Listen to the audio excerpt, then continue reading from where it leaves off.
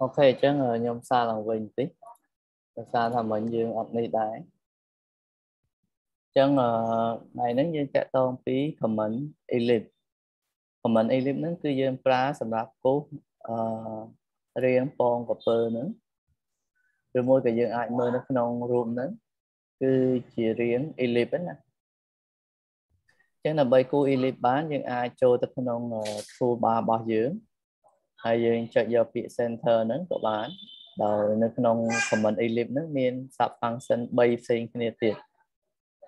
ឬមួយក៏យើងអាចចូលតាមដោយវាយ command el យើងអាចវាយ command el បន្ទាប់មកយើង enter ហើយយើងកំណត់យកគូសយើងចង់គូសតាមអដេកទី1ហ្នឹងយើងចុចទៅលើចំណុចចាប់ផ្ដើម ហើយនឹងចំណុចបញ្ចប់របស់ ellipse ហ្នឹងអញ្ចឹងយើងបានអទី1បន្ទាប់ពីបានអទី1ហើយយើងត្រូវការគូសកម្មរបស់អឺ ellipse ហ្នឹងឬមួយក៏យើងអាចនិយាយបានថាអទី2ឬមួយក៏ជាកម្ពស់ពីផ្ចិតទៅអហ្នឹងអញ្ចឹងយើងបាន ellipse អូខេចំណុចទី1គឺយើងគូសចេញពីចំណុចចាប់ផ្ដើមរបស់អឺ ellipse របស់យើងហើយយើងដៅនៅចំណុចបញ្ចប់របស់ ellipse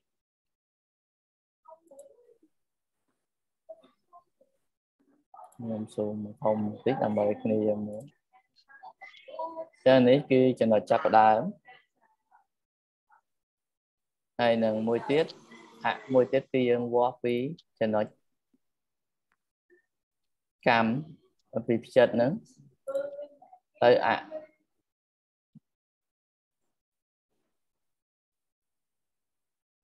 ចឹងក្នុងការគូ ellipse របៀបទី1គឺយើងគូតាម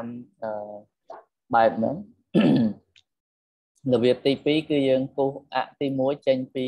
ចិត្តកដាល ចឹងយើងចូល comment ellipse កដាលតែចំណុចកន្លែងហ្នឹងគឺយើងជ្រើសរើសយក center វិញម្ដងអូខេចឹងយើងជ្រើសរើសយក center បន្ទាប់មកយើងដើរពីចំណុចកដាលរបស់អទី1ហ្នឹងឬមួយក៏ផ្ចិតរបស់ ellipse ហ្នឹងនៃអទី1 axis ហ្នឹងហើយចេញមកឧទាហរណ៍ខ្ញុំឧទាហរណ៍ថាយក តម្លៃស្មើនឹង150ចា៎បន្តមកយើងគូសចេញពីអទី2ចេញពីផ្ចិតទៅអទី2ហ្នឹង75អញ្ចឹងយើងបាន ellipse មួយទៀតខ្ញុំប្រើ command dim style តិចដើម្បីផ្លាស់ប្ដូរក្តារដើម្បីឲ្យគ្នាយើងមើល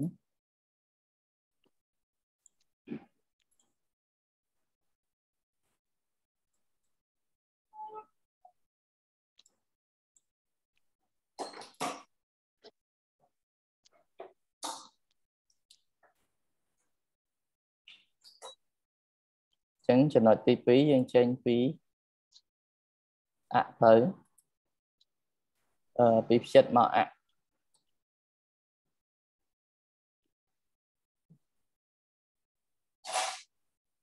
ឬមួយក៏យើងហៅថាធ្នូរបស់ ellipse របស់យើងហ្នឹង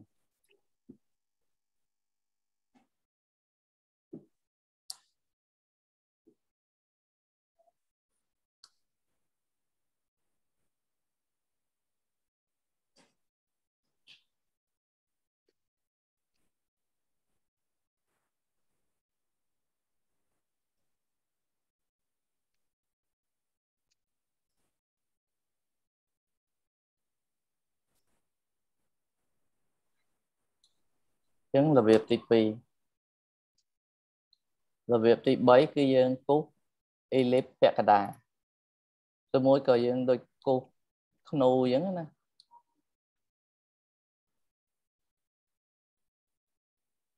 ចាំធ្វើ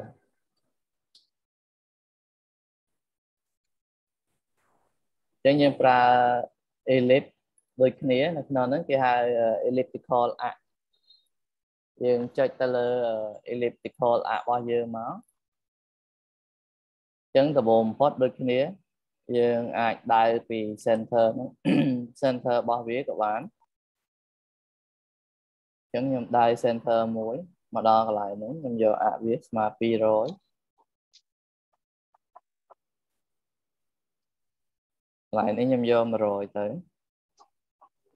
បន្តមកយើងដើរចំណុចចាប់ផ្ដើម អញ្ចឹងឧទាហរណ៍កន្លែងនេះខ្ញុំយកមុំចំណុចចាប់ផ្ដើមរបស់យើងកន្លែងនេះស្មើ0អញ្ចឹងដូចក្នុងករណីនេះពេលណាយើងយកដល់180យើងបានពាក់ការ៉ា ellipse អូខេហ៎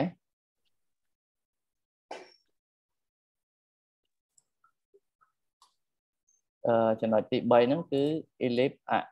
elliptical arc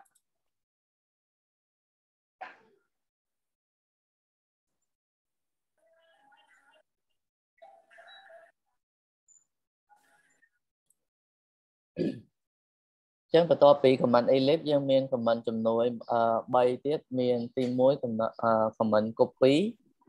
ទី2 comment move និងទី3 comment rotate ដែល copy ប្រើសម្រាប់ចម្លងអឺ object ឬមួយក៏វត្ថុយើងពីមួយទៅមួយ comment move យើងប្រើសម្រាប់រង្កិល object របស់យើងហ្នឹងហើយនឹង comment rotate យើងប្រើសម្រាប់រង្វិលចឹងដំបូងយើងមើល comment copy ដែលយើងធ្លាប់ឃើញពីមុនមុនដែរ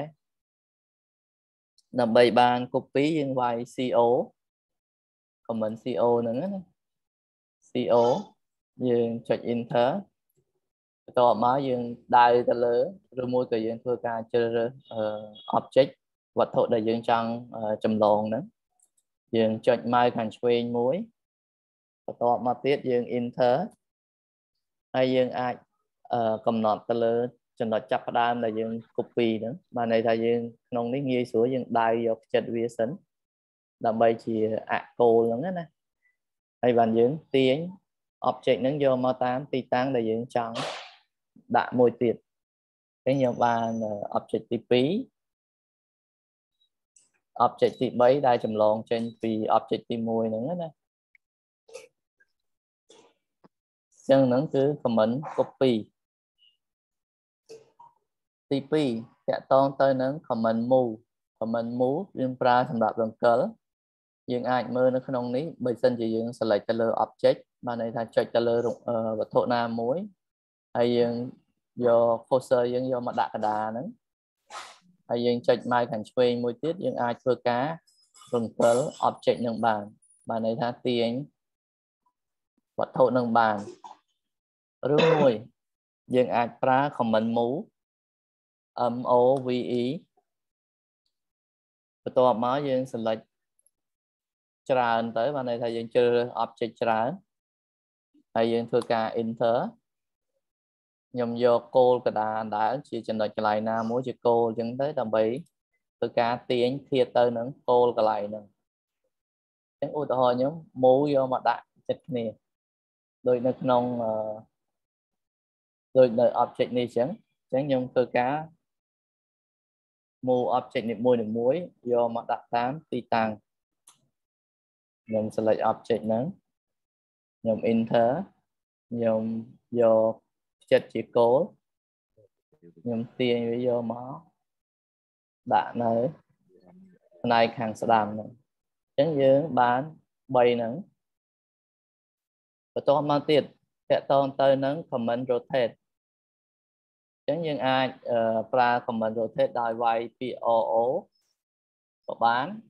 យើងវាយពេញក៏បានបន្ទាប់មកយើង select ទៅលើវត្ថុរបស់យើងហ្នឹង យើងចុច enter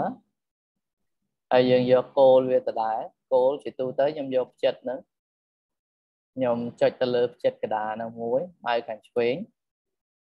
បន្ទាប់មកយើងពវល់ទៅតាមរូបភាពក៏បានឬមួយក៏យើងវាយតាមតួលេខហ្នឹងក៏បានដែរតួលេខហ្នឹងគឺតួលេខមុំណា